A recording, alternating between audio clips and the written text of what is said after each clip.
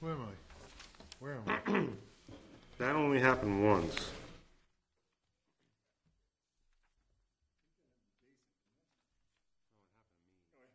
Time ago. Who'd you forget? Mr. Nelson. So I'd like to call together the Scott Cemetery, February 6, 2015. And we'll start off with uh, roll call. Jason Greenleaf is absent today. Uh, Charlie Andreessen has been excused as well. Uh, Dave Nelson, Here. uh, Nick Rico, Here.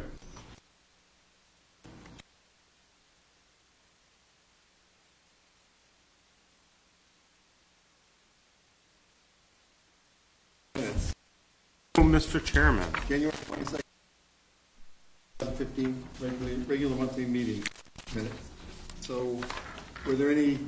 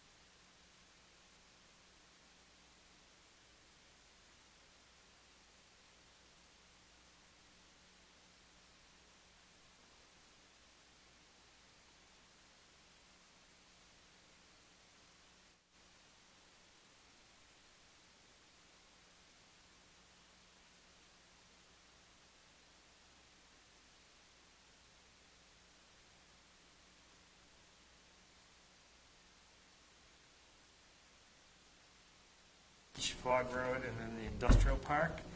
Um, Higgins Beach being the, uh, the- worst of the bunch with a uh, 64% increase is how it calculated out at. And um, working with the Ted Berry Company to develop a proposal for uh, TV section. We'll- we'll- We'll go after the biggest hanging fruit and see if we can identify some of the uh, areas where the excess water is coming in. Um, A copy of those pump station flows for the month of January is included. Uh, No issues were noted on, on uh, from the data provided there. Uh, This past month, Gary Howard attended a NEWEA conference in Boston. I was supposed to attend it with, uh, with Gary, but that was the um, uh, the week of the blizzard that we had, and I stayed back. Uh, Jay Kennett and uh, Rudy Hale uh, attended the Maine Water Utilities uh, uh, Conference in Portland. Um, Through Maine Municipal Health Trust, the district's insurance carrier is uh, Anthem Blue Cross Blue Shield, which, as you have heard on the news, had a significant data breach. Anthem will be mailing letters to all individuals whose information was access during uh, the recent data breach. Anthem is also offering credit monitoring and identi- identity theft repair services to its current and former customers. Also available to our staff is free credit monitoring services through uh, Maine Municipal Health Trust uh, through their employee assistance program. So the majority of our um, employees have already signed up for this, and we actually had a, uh, one of our staff received a, uh, a phishing call already from um, somebody that's trying to get some data from them with regards to, it. they received it at the plant, oddly enough. Um, As you can so imagine, the staff has uh, been working terribly hard on snow removal this past month. They've been doing a tremendous job keeping up with it. Um, Matt Height conducted his uh, biannual inspection of the wastewater treatment facility on, on the 4th of February. Matt was very pleased with his findings. He'll be following up with a written report shortly. I actually received it tonight. I have not yet had an opportunity to read it. Uh, The Pine Point Bridge is scheduled for replacement beginning fall of this year. As part of this project, we will need to move a small section of our sewer. Once they finish the final layout of the bridge, we can begin that design. And uh, well, actually, not finally, I have a couple other on this. Uh, and Associates were here, on- were on site on February 16th to begin their audit. They uh, anticipating completing the audit this month, and we'll I have them slated to make a presentation at our next trustees meeting. A Couple other things. um, The, uh, we had a fire alarm at our, at the blower building. um, I forget, I don't have the date written down, I apologize. Uh, But what ended up happening after, during the blizzard, the wind actually blew a significant amount of snow inside the eaves of the blower building and uh, shorted out one of the um, heat heat sensors up in the the uh, attic area. Uh, The short didn't happen until after the the blizzard had completed, which was um, fortunate. Uh, We have since repaired that. And finally, uh, there was the um, uh, Maine Wastewater Control Association this morning held their legislative breakfast up in Augusta, which I attended. That's an opportunity for uh, the association to um, uh, have some time with legislators to present to them some of their concerns and successes through through the years. So uh, with that, any questions?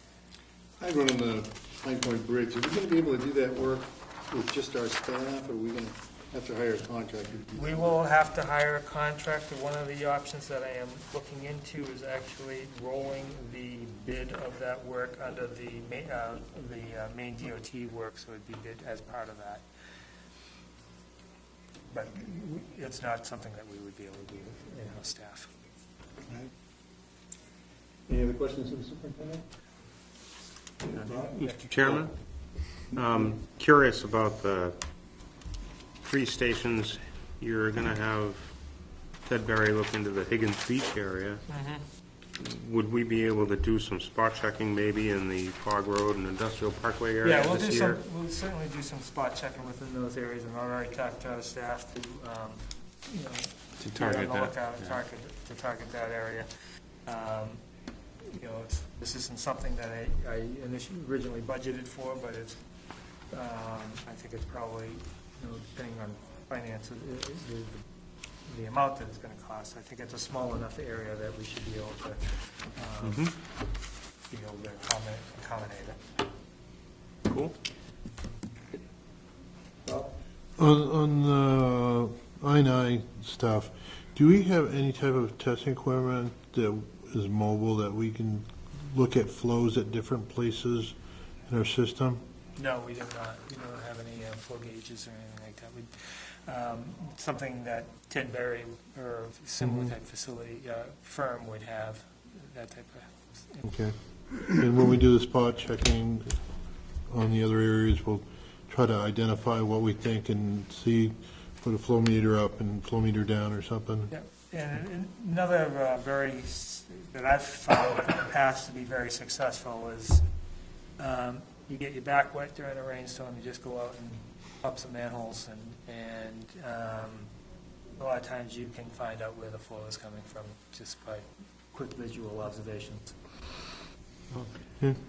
As far as Fog Road, hasn't there been quite a few homes added to that out there, uh, down Highland Avenue? Would that equate the uh, increase we see on that? Not that much. That's a lot of flow.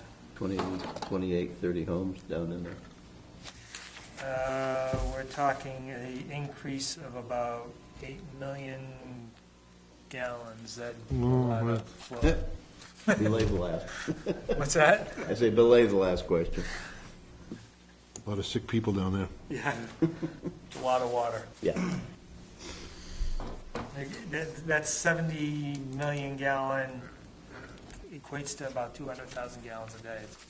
It's almost up 15% of our current flow. A Lot. A lot. Thank you. So we'll move on to correspondence. No correspondence tonight, old business, no old business. And then move on to new business on Eastern Village Phase Three A.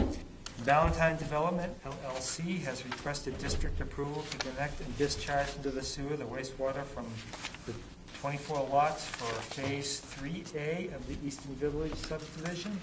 The service wyes for these lots were installed as part of Phase 3 sewer extension. Uh, Previously, the district approves Phases 1, 2, 2A, 2B, and 3 of this project. I recommend approval with the following conditions. The project is within the original service area. The original lot had an allocation of 52 residential dwelling units, which has been out, been allocated to Phase 1, 2, 2A, 3B, 2B, and 3. Consequently, all 24 lots are subject to the capacity reserve fee. This fee is based on single-family residential dwelling units without accessory units. Any additional homes, dwelling units, or accessory units in excess of this are subject to additional approvals and capacity reserve fees. Current capacity reserve fee per home is $2,896.06, and adjusted monthly based on the engineer's uh, news records construction cost index. Based on the current ENR index, the total capacity reserve fee for the 24 dwelling units is $69,505.45. This fee is due prior to issuance of the sewer permits. A copy of the recorded subdivision plan depicting the amended district approvals shall be provided to the district in both paper and electronic format.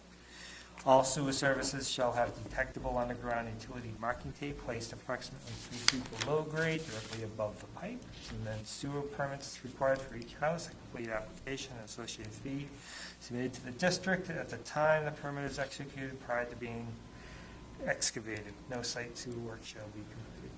Professional surveyed electronic geo-reference CAD drawings, a stamped PDF of the CAD drawing, and a stamped paper copy to be submitted to the district upon completion of the project. Motion to approve with the caveats attached by the chairman. Second. Any questions for the superintendent? We're all okay, David? Yep. Good. All right, seeing no questions, all in favor of approving what is it, the Valentine